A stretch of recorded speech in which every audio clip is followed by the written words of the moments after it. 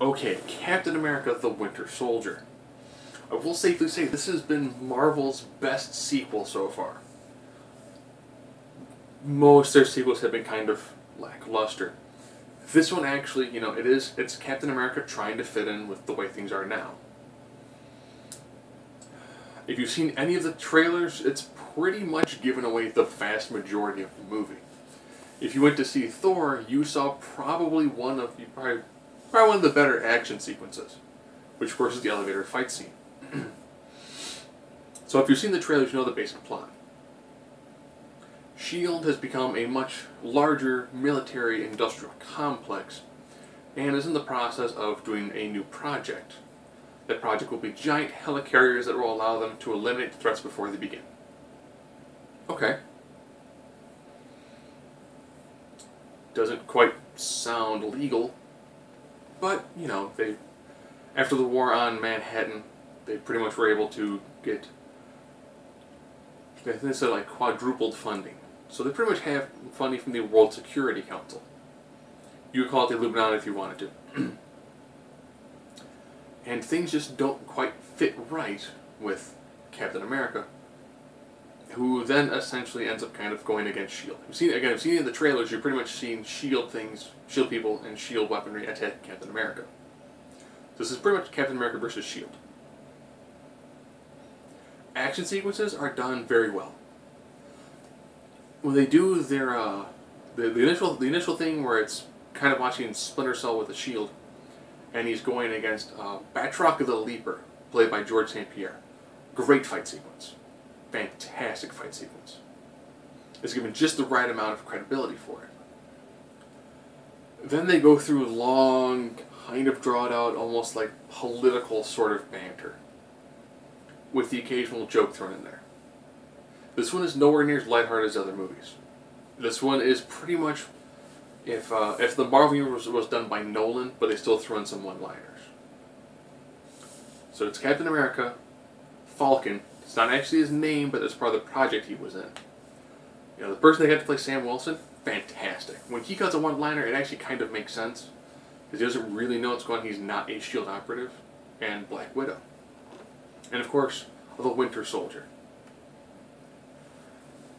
of people who sat behind me who talked the majority of the movie, when he does the reveal, we're like, wait a minute, wait, who, who's who's? Who's that? They they pretty blatantly do flashbacks to Bucky Barnes, and Captain America walks through a Smithsonian Institute thing where he looks at a picture of Bucky Barnes. They do flashbacks of when he lost Bucky Barnes. So when he reveals himself, and he is of course Bucky Barnes, that's not really a spoiler because that's the Winter Soldier. It's it's Bucky Barnes. It is Captain America's former, you know, best friend, essentially back from the dead, who is an expert assassin with a metal arm. His character, while having very little dialogue, has such a great visual presence and has such a great job emoting that you actually do kind of feel sorry for him. Now, who of course is the main villain? Well, the only other person ever shown in the first is Robert Redford. So you can kind of tell with Captain America on the run from S.H.I.E.L.D., S.H.I.E.L.D. essentially is the villain. You know, fight sequences, done very good. Again, if you watch Marvel's Agents of S.H.I.E.L.D., you did see the assault on Nick Fury. Again, Sam Jackson blows out the park in this one. Sam Jackson, Robert Redford, fantastic. Chris Evans and Scarlett Johansson. Ugh. Chris Evans does a good job of playing like the ultimate Boy Scout, and Scarlett Johansson does a decent job. They do try to try to play up a almost like a sexual chemistry that really doesn't kind of exist, which kind of falls somewhat flat. But overall, a very solid movie. Is it the greatest superhero movie of all time? No. I'm still going to say it, it's it's not it's not quite the Dark Knight. It's the closest thing Marvel has done to that style of film, and they do it very well. But it's not quite there. It doesn't quite have enough people putting in, you know, beautiful performances to quite put it to that level. So that's all I'm going to say about that before I get into some of the spoilers. So you got five, four, three, two, one, goose egg. So we're getting to some of the spoilers.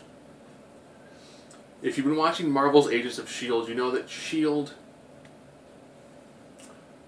has different groups and almost has kind of like a shadowy presence to it. Ah, that's because after Hydra was defeated, they weren't actually defeated. Some of their head scientists were picked up by S.H.I.E.L.D. Now, that pretty tells you one thing. S.H.I.E.L.D. has Hydra scientists working for it. S.H.I.E.L.D. is Hydra.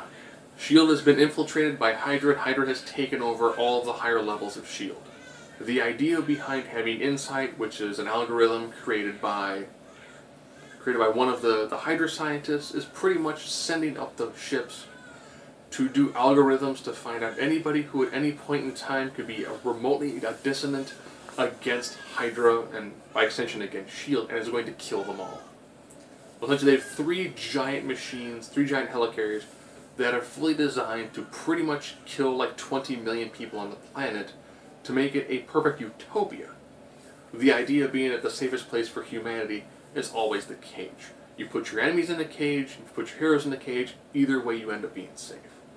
That That's kind of a, that is somewhat more of a Brubaker viewpoint, it's somewhat heavy-handed, and that for me was somewhat detrimental to the movie. there are two sequences afterwards, you know, through the end credits. One is uh, a Baron. I'm drawing a blank. I want to say it's like Strucker. He talks about different sorts of things in the age of miracles. Since Marvel Studios cannot contractually use the term mutants, they have to call them miracles. This, of course, ends up being your first time of seeing Quicksilver and the Scarlet Witch. Scarlet Witch is floating in boxes that makes people explode. Quicksilver, ironically, the still shot that had Quicksilver look horrible seeing him stuck in a cage, you know, shirt all torn up, just looking all disheveled, occasionally like speed blitzing back and forth into the walls. Fantastic. Oh, and guess what? The guy also has Loki's staff. That was nice, that worked well.